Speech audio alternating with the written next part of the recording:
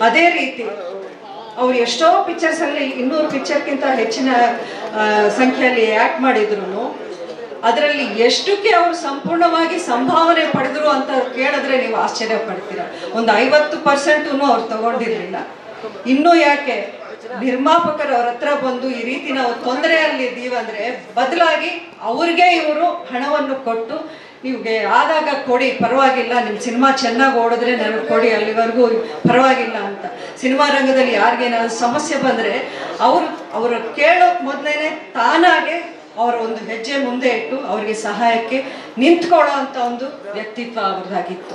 ಇಷ್ಟೇ ಯಾಕೆ? ಕರ್ನಾಟಕ ಚಲನಚಿತ್ರ ಕಲಾವಿದರಿಗೆ ಒಂದು ತಮ್ಮದೇ ಆದ ಜಾಗ ಒಂದು ತಮ್ಮದೇ ಆದ ಒಂದು ಭವನ ಇಲ್ಲ ಅನ್ನೋ ಒಂದು ನೆನಪು ಡಾಕ್ಟರ್ ರಾಜ್ಕುಮಾರ್ ಅವ್ರನ್ನ ಕಾಡ್ತಾ ಇತ್ತು ಯಾವಾಗಲೂ. ಅದಕ್ಕೆ ಅವರು ಒಂದು ಹೋರಾಟವನ್ನೇ ಮಾಡ್ತಿದ್ರು. ಆ ಕನಸನ್ನ, ತನ್ನ ಕನಸು ಅಂತ ತಗೊಂಡು ಆ ಕನಸನ್ನ ಈಡೇರಿಸಿದ್ದು ಅಂಬರೀಷ್ ಅವರು. ಯಾಕೆಂದ್ರೆ ಇವತ್ತಿನ ದಿನ ಆ, ಚಲನಚಿತ್ರ ಕಲಾವಿದರ ಭವನ ಏನಿದೆ ಅದನ್ನ ನೋಡಿದ್ರೆ ಬರೀ ಕರ್ನಾಟಕ ಅಲ್ಲ, ಇಡೀ ಭಾರತ ದೇಶದ ಚಿತ್ರರಂಗಗಳು ಆಶ್ಚರ್ಯ ಪಡ್ತಾ ಇದ್ದಾರೆ, ಹೆಮ್ಮೆಯಿಂದ ನೋಡ್ತಾ ಇದ್ದಾರೆ. ಯಾಕಂದ್ರೆ ಅಷ್ಟೊಂದು ಸುಂದರ ಭವನ, ಬೇರೆ ಯಾವ ಚಿತ್ರರಂಗದಲ್ಲೂ ಯಾವ ಚಲನಚಿತ್ರ ಕಲಾವಿದರಿಗೆ ಸಿಕ್ಕಿಲ್ಲ. ಅದು ಯಾವಾಗ ಆಗುತ್ತೆ ಅನ್ನೋದು ಅವ್ರಿಗೆ ಗೊತ್ತಿಲ್ಲ ಅನ್ನೋ ಮಟ್ಟಿಗೆ ಅವ್ರು ಮಾತಾಡ್ತಿದ್ದಾರೆ. ಅಂದ್ರೆ ಅಂಬರೀಷ್ ಅವರ ಶಕ್ತಿ ಏನಿತ್ತು, ಅವರು ಏನಾದರೂ ಮನ್ಸು ಮಾಡಿದ್ರೆ ಯಾವ ಮಟ್ಟಕ್ಕೆ ಅದನ್ನ ತಗೊಂಡು ಹೋಗಿ ಅದನ್ನ ಸಾಧನೆ, ಸಾಧಿಸಿ ತಿರ್ತಾ ಇದ್ರು ಅನ್ನೋದು ನಿಮಗೆ ಅರಿವಾಗಬೇಕು. ಇನ್ನು ಅವ್ರ ಮಾತೇನೋ ನಿಮ್ಮೆಲ್ರಿಗೂ ಗೊತ್ತು ಹೊರಟಾಗಿದ್ದಿರ್ಬೋದು ಅವ್ರು ಎಲ್ಲರ ಜೊತೆಗೂ ಸ್ವತಂತ್ರವಾಗಿ ಮಾತಾಡ್ತಿದ್ರು.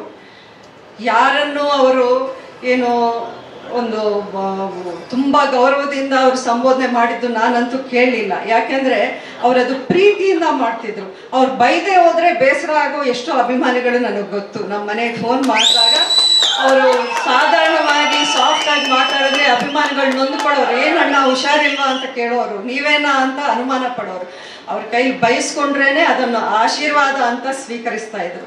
ಅಷ್ಟೇ ಅಲ್ಲ, ಈ ಇನ್ಕ್ಲೂಡಿಂಗ್ ಮಾಧ್ಯಮದವ್ರ ಜೊತೆ ಅವ್ರು ಎಷ್ಟು ಲಿಬರ್ಟಿ ತಗೊಂಡು ಮಾತಾಡೋರು ಅಂದ್ರೆ, ಅದು ನಿಜಕ್ಕೂ ಎಷ್ಟೇ ದೊಡ್ಡ ನಾಯಕರಾದ್ರೂ ಆ ಒಂದು ಸಾಹಸ ಮಾಡೋಕೆ ಹೋಗಲ್ಲ. ಯಾಕಂದ್ರೆ ಒಂದು ಲಿಮಿಟ್ ಅಲ್ಲಿ ಮಾತಾಡ್ತಾರೆ. ಆದ್ರೆ ಮಾಧ್ಯಮದವರ ಜೊತೆಯಲ್ಲೂ ಅಷ್ಟೇ ಪ್ರೀತಿಯಿಂದ, ಅಷ್ಟೇ ಒಂದು ಫ್ರೀಡಮ್ ಲಿಬರ್ಟಿ ತಗೊಂಡು ಮಾತಾಡ್ತಿದ್ರು. ಮಾಧ್ಯಮದವರು ಅದನ್ನ ಅಷ್ಟೇ ಒಂದು ಪ್ರೀತಿಯಿಂದ ಸ್ಪೋರ್ಟಿವ್ ಆಗಿ ರಿಸೀವ್ ಮಾಡ್ಕೊಳ್ತಾ ಇದ್ರು. ಅಂತ ಒಂದು ವ್ಯಕ್ತಿತ್ವ ಇನ್ನೆಲ್ಲಾದ್ರೂ ನೀವು ನೋಡಿದ್ರೆ ಅದು ನಿಜಕ್ಕೂ ಅದು ಆಶ್ಚರ್ಯನೇ ಆಗ್ಬೋದು. ಇನ್ನು ರಾಜಕೀಯ ಅಂತ ಬಂದ್ರೆ, ಅವ್ರು ಯಾವತ್ತೂ ರಾಜಕಾರಣ ಮಾಡಿಲ್ಲ. ರಾಜಕೀಯಕ್ಕೆ ಬಂದಿದ್ದು ಅವ್ರ ಜನಕ್ಕೆ ಇನ್ನಷ್ಟು ಹತ್ರ ಆಗೋಕೆ.